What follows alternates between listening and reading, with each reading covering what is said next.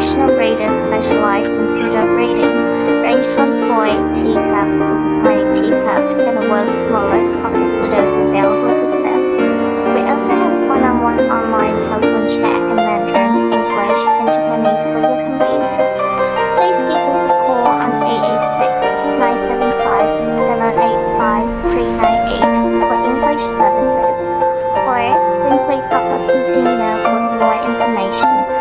international cooperating